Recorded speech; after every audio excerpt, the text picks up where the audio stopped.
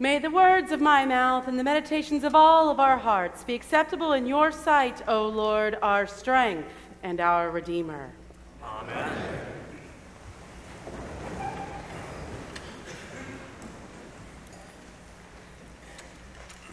So I wonder if you have ever had this experience where it's a morning that you just don't want to get up and go to work or go to school you just do not want to wake up.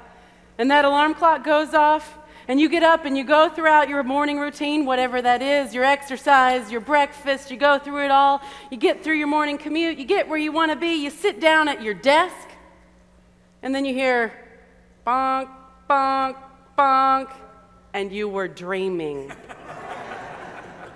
You actually have to get up and do it all over again. You were just dreaming that you got ready. I don't know if you've had that experience before, but I have. and it makes for the longest morning of your life, doesn't it? the longest. I want to tell you a story about the longest morning of my life to date.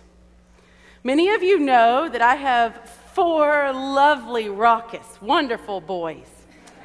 And so this longest morning of my life took place not long after the fourth one came. He was still a little one. And so you all know if you've ever had an infant in your house, it can make for some interesting mornings, right? So we get up. The oldest one, I think he's only first grade, kindergarten, first grade, something like that. And school starts early for those little kindergarten bodies.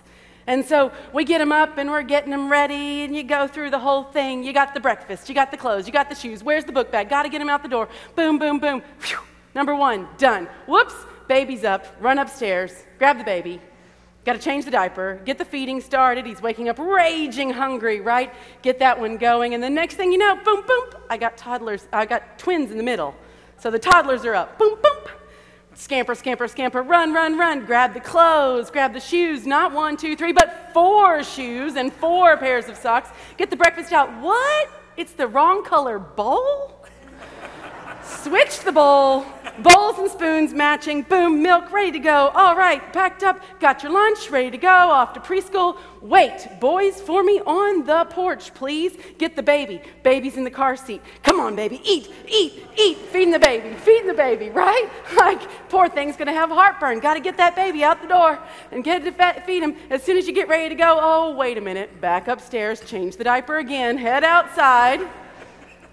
We're, we're going now. We're cooking with gas. We're ready to roll. Except one thing had changed. Just one thing. The day before, we had had the sprinkler guy out to visit. And, and he was so helpful. He set up the sprinkler so that it would automatically turn on every morning. So helpful, that sprinkler guy. So I walk outside. You want to know what I find? It is the most fun morning of life for the toddlers. They are going crazy, running back and forth, full backpacks, lunch boxes, everything in the sprinkler, head to toe, mud, soaking wet to the bone. And even, I mean, even their lunch boxes were wet all the way to the inside. Their sandwiches were soaking wet. I swear, how long did it take that baby to eat that baby food? Like, yeah, that felt like it was gone forever. And that moment, I felt like, bonk, bonk, bonk. Get up, do it all over again. Get back to the shower, scrub them all down, clothes, and off and on our way. And I'll be honest with you, I'm no angel. That morning was a little bit of a hard and trying morning, and I'll say this I handled it in such a way that those boys have never tried that again. I'm no angel, okay? But, um, you know, we got through it, and there was a part of me that kind of thought, what were you thinking? And I know many of you have those moments in your lives where you're going through something, you're thinking, what were you thinking? And we have one of those moments in our scripture for today, our Acts text. Peter goes off and he has gone up to Joppa. And he has preached the good news to some folks who are very different from the disciples in Jerusalem. And he has preached the good news and baptized them. And the disciples come back and they're like, Peter, what were you thinking? What were you doing? And so it's kind of an interesting sort of, really moment, Peter? Come on now. Really? All the way up there?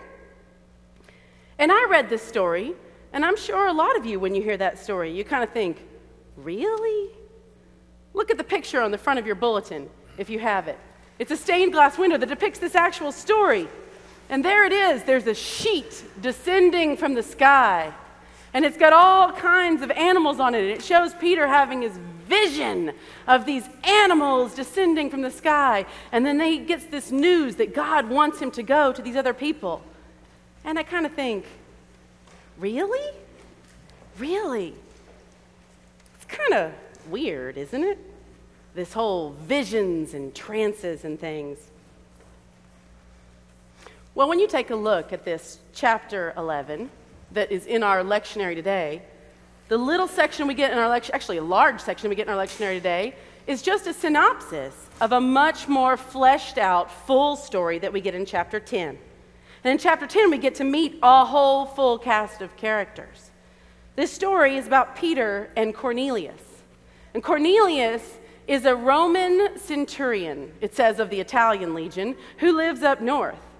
And it was a little unusual and notable because this Roman centurion was a godly man. His household prayed and gave alms, and he was known to run his household in a godly way. But you know, he was a centurion, which meant that he didn't keep all those same dietary laws and restrictions. Holiness in his house didn't look like what holiness looked like in Peter's world, it was different. And so this centurion has this vision, and an angel comes to him, and the angel tells him, Go out to Joppa and go find this man named Peter and bring him back. And he'll tell you what's what, he'll teach you. And then, meanwhile, Peter has been, well, the scripture says, about noon the next day, they were on their journey and approaching the city. And Peter went up on the roof to pray, and he became hungry, and he wanted something to eat. So while it was being prepared, he fell into this trance. And in this trance, he saw this big sheet and every kind of animal, all the animals that were considered unclean. And God said, Kill and eat, Peter. And Peter said, I, I don't do that. We don't do that. But God told him to three times.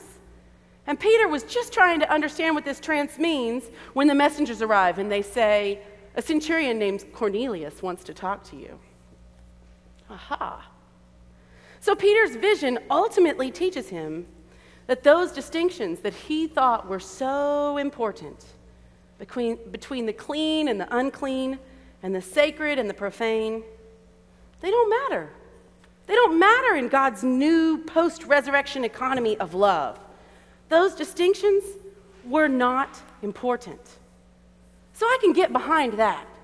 I can get behind that sort of thinking and that reason for this passage in, being in there. And at the same moment, it still seems a little odd to me. This whole stuff about trances and visions and angels and descending sheets and all that sort of stuff. So I just kept coming back to this verse. Did you hear it? Peter went up on the roof to pray, and he became hungry, and he wanted something to eat. And while it was being prepared, he fell into a trance. And I realized, hey, wait a minute, that's where I am. I'm too busy making supper to go up on the roof and have trance time with Peter. I'm too busy making sure those needs are met. I'm too busy headed out there finding all four of those shoes or whatever needs to be done and headed out there.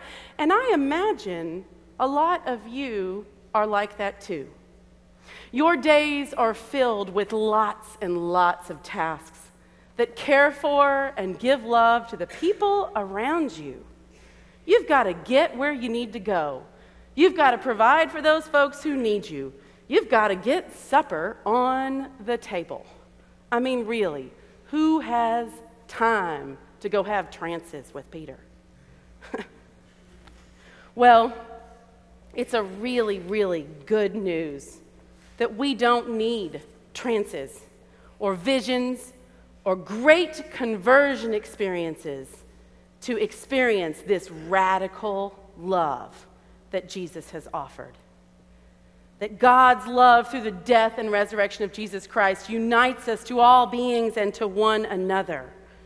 To experience the real depth and breadth and life giving love that knows no boundaries. Because the truth is, every single time we stretch just a little bit outside of our own boundaries and love someone else with the full compassion and engagement that we would want extended to ourselves, that is when we journey deeper into God's love. See, Peter had experienced this up close with Jesus and the disciples. And my guess is those servants and the cooks and the messengers and the whole household of people, the dozens and dozens of people in this story who didn't receive great visions that wasn't their lesson to learn, those great visions. Many of them were already experiencing a daily reality that required them to push beyond their own personal needs and serve and meet the needs of others.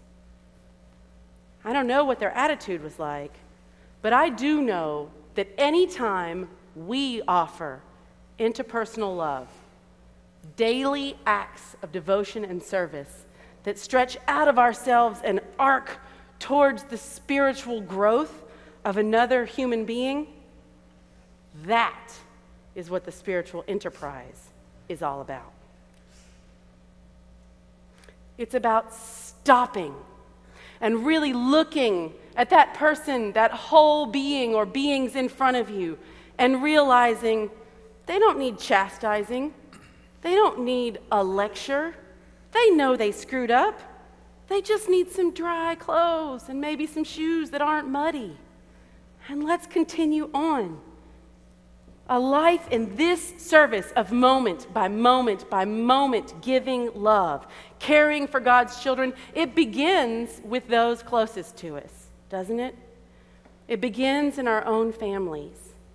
And it extends wider and wider and wider until it deepens in us a capacity for empathy.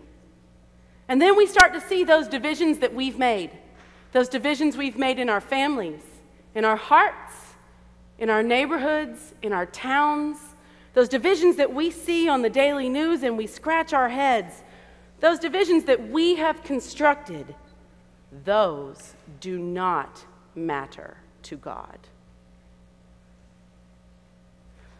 A life of Christian spiritual service reaches out across those boundaries. And Jesus came just so that we might love one another.